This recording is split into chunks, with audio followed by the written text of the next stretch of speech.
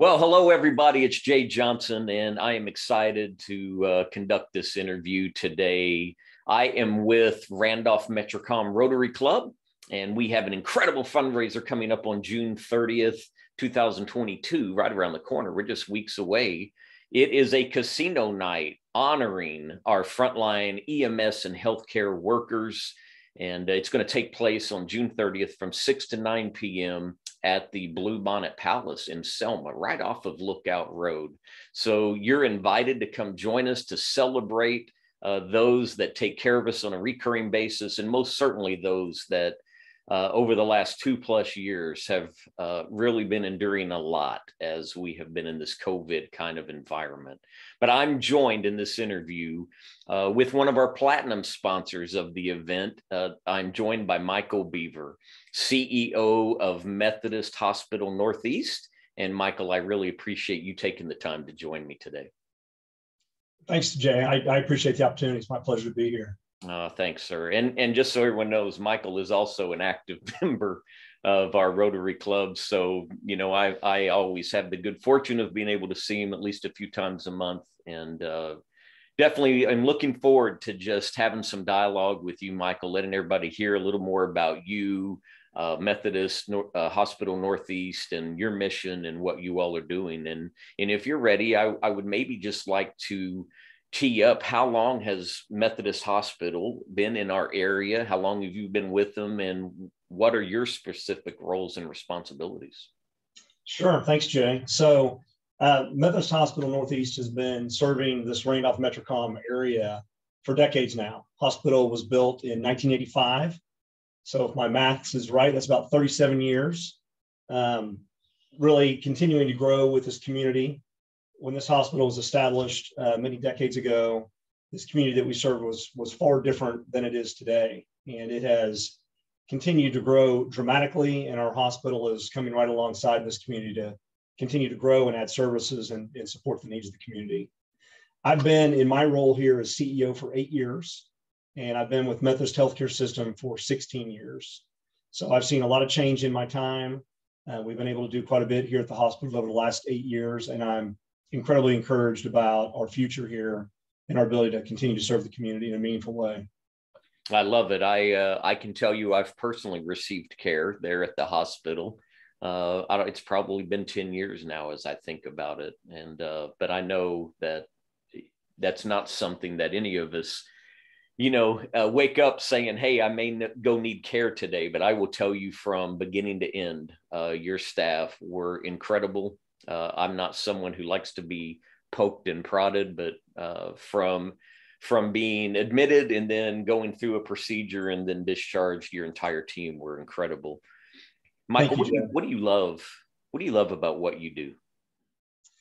You know, I, I have a really unique um, job here, and I I tell our new employees this all the time. We have a lot of people who are early in their careers and they're coming into healthcare and have made that choice to serve their community and um, I, I truly believe in healthcare, we have a unique opportunity to impact people's lives in a meaningful way every single day. If you think about the typical person coming to the hospital, you know, they're, they're dealing with some kind of situation that's brought them here. It's, it's usually not their best day. They're dealing with a lot of uncertainty. They may be in pain, um, you know, maybe don't know what's around the corner.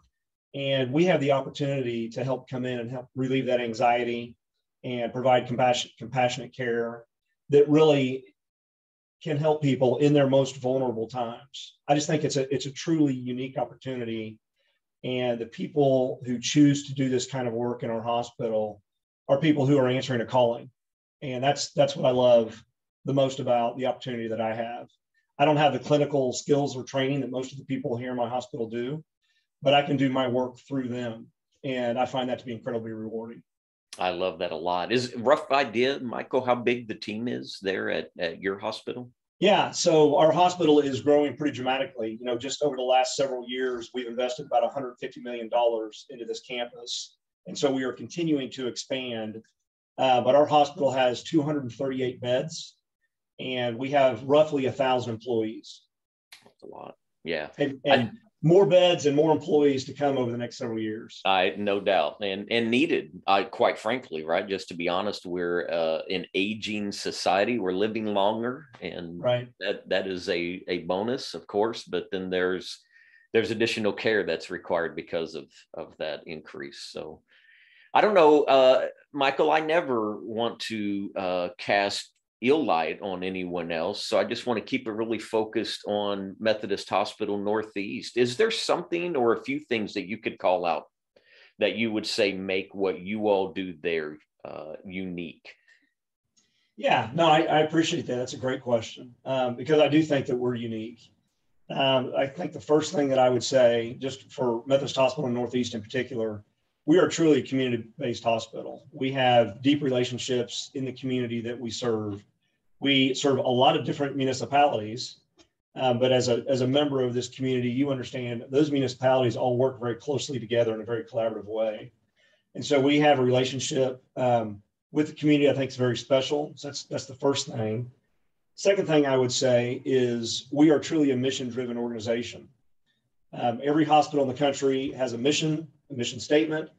Um, some hospitals put it up on the wall. Some of them put it in a binder that they pull out every now and then. But we are a unique organization because we talk about our mission statement every single day. Every single person in our hospital knows what the mission statement is.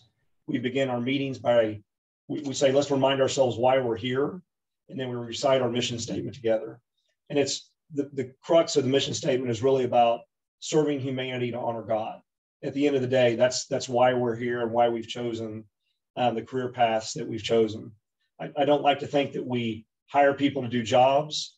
I, I like to think that we select people to help us fulfill our mission. It's just a different mindset. And so that mission focus is a really, really big part of what we do. I love that a lot. You know, what I hear you talking about when you say that is culture. And uh and people Absolutely. yeah, I, I think people love uh being inside a place where they uh feel like they're serving alongside of other people with similar values and similar focus and it's more of a team and collegial uh, collaborative environment. So i know that's what i experienced when i received care at your hospital and i love uh, hearing that you all start that uh, your day often with that mission statement. Absolutely you know, you shared a little bit about community, Michael, and and how uh, you understand that y'all are a part of not just one, but all of these and these interconnections. What is it? Is, is there something? I mean, hearing your mission statement, is there anything else you would share that kind of speaks to why you all get out and do the things you do in the community. We're not talking just a place where people come to see you. You and your team are very active out in the community. One example is the fundraiser we have coming up. Uh, even though this one is supporting healthcare workers and people may, you know, say, well, there's a direct, you know, tie-in to that. I know for a fact that you all are heavily engaged in many, many other efforts. So what is it about your involvement in the community that's important? Yeah. So uh, first, I'll acknowledge. Of course, this isn't one I could pass up. You know, being able to help frontline workers. Um, you know, it's it's been it's been a rough ride for the last couple of years through COVID. And that's not just for hospital workers. That's for all of our other partners out there, from EMS and fire and police and military and everybody um, who didn't have the option to stay home and and be safe, but had to every day wake up and make a decision to come into work, to come into the hospital, to, to go to the police station, to go to the fire station, to go to EMS, and knowingly put themselves in harm's way every day. And so having an opportunity to, to recognize those folks was something we absolutely couldn't pass up. Uh, but but you're right. We do a lot of other things in the community. We you know largely try to work with our community partners and figure out ways that we can serve. As a healthcare organization, you know one of our areas of expertise expertise is of course around health, and so we do a lot of things um, in terms of health fairs and things like that in the community where we can really help in that regard. We do a lot of things around um, education and awareness, like for Heart Month and breast cancer awareness, things like that.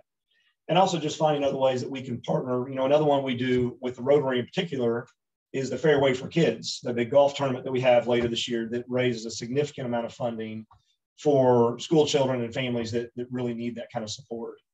But it, you know, at the end of the day, we're a community-based hospital. But our our relationship with this community is incredibly important to us. We we want to have that kind of relationship where they rely on us and we rely on them.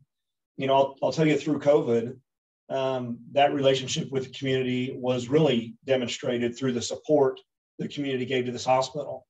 Um, you know, we had countless um, restaurants and other enterprises in the community wanting to support us and restaurants delivering meals for our staff completely unsolicited, just wanted to let us know how much they appreciated us. We had other businesses buying meals from the restaurants and delivering those here, even if they weren't in the industry. Again, just to let us know we we appreciate you, and that that meant a tremendous amount to our team and a, a tremendous amount to to me personally. That relationship we have with the community, and and I'll I'll tell you another area that it, it manifests in just the demonstration of of the support we receive the San Antonio News Express every year does a Reader's Choice um, Award. And they have nominations from the community, and then the community votes on different categories. And in the hospital category, um, in 2020, I'm sorry, 2021, Methodist Hospital Northeast was nominated. And we were pretty excited about being nominated. And be honest with you, the other four hospitals that were nominated were all significantly larger than us. And we thought, well, you know, kind of like the Academy Awards, it was nice to be nominated. We appreciate the nomination. But, you know, our expectation to win wasn't really very high. And we, in fact, won. We, we won Best Hospital in San Antonio in 2021. And we thought that was the coolest thing ever. and then we were nominated again in 2022 and we won again.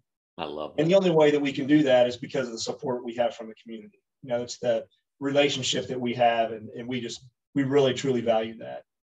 I love hearing that. And and I I don't know if any other award could maybe be more meaningful to anyone than to know that it's voted on by uh, people in the community. So that just goes yeah. to show that they recognize the impact you all are making and they appreciate you all. So I love hearing that, Michael. That's fantastic news.